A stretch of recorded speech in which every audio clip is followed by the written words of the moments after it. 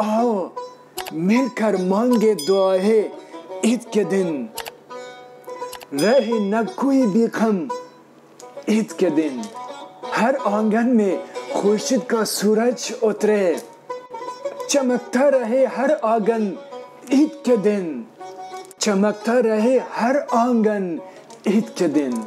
या आल रसूल, औलाद इमाम हुसैन और ख्वाजा गरीब नवाज़ मोहिनुद्दीन चिश्ती दादा मुर्शिद की औलाद से अफ़गानिस्तान से ईद सईद फितर ये दिल से सभी को बहुत बहुत बहुत मुबारक मेरा दुआ है अल्लाह करे अब सभी का हर दिन ईद रहे तो क़यामत खुशियाँ रहे अब सभी को या आल रसूल को मोहब्बत देने से बहुत बहुत शुक्रिया।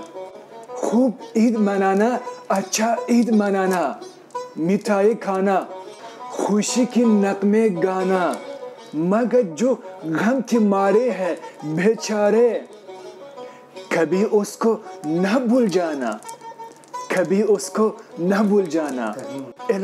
ईद मी बीनी व मन पैवस्त अब्रूयत। इलाल ईद मी बीनी व मन पैवस्त अब्रूयत मुबारक बातु बहुत ईदो वो बरमन दीदान रूयत इस कोरोना वबा की वजह से बहुत लोग इसी दौर में परेशान आल है इस ईद में उनके लबों में खुशी डालना ये सबसे बड़ा अज अकबर है और कोशिश करें अपने खुद के लिए ही ज़्यादा खर्च करने से थोड़े गरीबों को भी मदद करें। मेरा खून, मेरा जिस्म में इमाम हुसैन का खून है। और ख्वाजा मौदूद चिश्ती ख्वाजा गरीब नवाज़ की दादा मुर्शिद के के खून की मेरे, मेरा जिस्म में है। यानी मैं उनके औलाद से हो, उनकी जानशीन हो।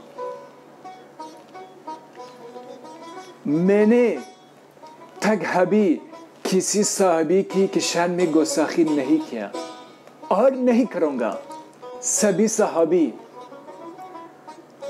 हज़रत रसूल पाक वसल्लम किस सितारे हैं साथ दिया यहाँ तक जान को भी कुर्बान किया माल को भी कुर्बान किया इस्लाम की चराग को रोशन किया लेकिन सभी का मोहब्बत है।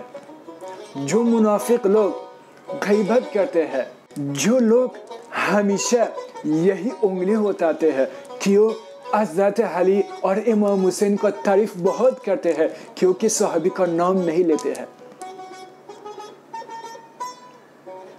मैंने इमाम हुसैन को, मेरा दादा है, इसी वजह से मैं उसको बहुत प्यार करते हूँ। क्योंकि जन्नत की सरदार है। हज़रत मोहम्मद फरमाते हैं क्या? जन्नत की सरदार, जन्नत की सरदार इमाम हसन इमाम हुसैन है। यही आदित शरीफ में है। और मेरा दादा है, मोहब्बत करते हो, जान भी उसके कुर्बान। जब तक इमाम हुसैन के इश्क मेरा दिल में है, हर किसी का इश्क का ज़रूरत नहीं है। लेकिन सभी को रिस्पेक्ट देते हो। किसी सहाबी, किसी भी वैली, सभी को, सभी का रिस्पेक्ट अदब हमेशा करते हो। जो किसी को किसी सहाबी को, किसी इंसान को उसको बेअदबी करते हैं, गाली देते हैं। वो मुसलमान इस इंसान भी नहीं हो सकते हैं। यह बात हमेशा याद रखें। मुनाफिकत करने के बजाय मोहब्बत करें। मोहब्बत मोहब्बत से पत्थर भी गौहर बन जाते हैं। और यूट्यूब को भी लाइक करें। और यूट्यूब को भी सब्सक्राइब करें ताकि न्यू न्यू वीडियो आपको पहुँच सके। ये जो वीडियो में पत्थर से इंसान का हर बीमारी का इलाज। दफ जादू मरस रिमूव द मैजिक अल्लाह के वली हज़रत शमसुद्दीन तबरीजी ने फरमाया जो हर तरह परेशानी में मुबतला है घर में बरकत नहीं है बिज़नेस में बरकत नहीं है जादू जन्ना से परेशान है। उसकी शादी नहीं हो रही है। अच्छी रिश्ता नहीं मिल रहा है। और जो दूसरे मुल्क में जाने चाहते हैं, उसका वीज़ा की प्रॉब्लम है। और जो उसका केस दूसरे मुल्क में कबूल नहीं हो रहे हैं। घर में, घर वाले के साथ मोहब्बत नहीं है, झगड़ा है। हर तरह बीमारी है।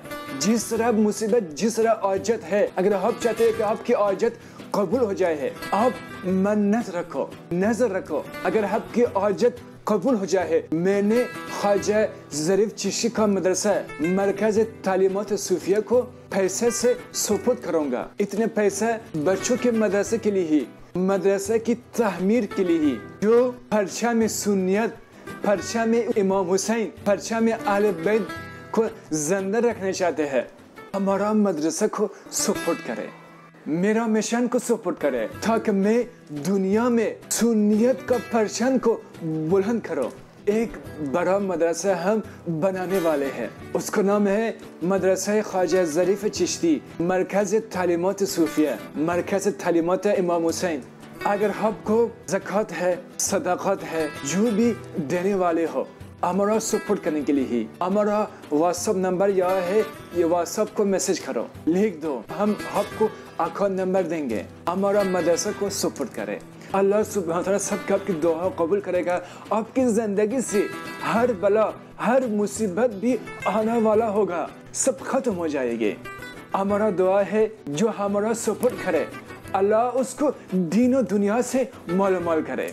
हज़रत जो है ख्वाजा गरीब नवाज़ रहमत के परदादा पीर की औलादों में से हैं। और जैसा ख्वाजा गरीब नवाज़ के पीरो मुर्शद ख्वाजा उस्मान हारवानी और उनके पीरो मुर्शद हज़रत शरीफ जंदानी और उनके पीरो मुर्शद ख्वाजा अबू मौदूद चिश्ती रहमत की औलाद और इमाम हुसैन सलाम की औलादों में आपका नसब है। और सरकार का पूरा नाम जो है हज़रत ख्वाजा जरीफ चिश्ती सरकार और हिंदुस्तान के, खास मैं ये बताऊँगा कि हिंदुस्तान की सरजमी के लिए ये बाईस बरकत है। क्या वो चिश्त घराने के पहले बुज़ुर्ग ख्वाजा गरीब नवाज़ का फैज हिंदुस्तान में जारी और सारी है? आज भी। और ऐसी ही वो चिश्त घराने के फिर बुज़ुर्ग हमें अता हुए और हमें फिर ये समझो कि हुजूर नबी करीम वसल्लम की तरफ़ से ही दूसरे बुज़ुर्ग हमें अता किए गए। तो हज़रत ख्वाजा जरीफ चिश्ती हमारे हिंदुस्तान में आपकी आमद हुई और हम हिंदुस्तान के और भाग जग गए हैं और किस्मत बुलंद हो गई है कि दूसरे खानवद रसूल के फर्द हमारे हिंदुस्तान के अंदर आए हुए हैं।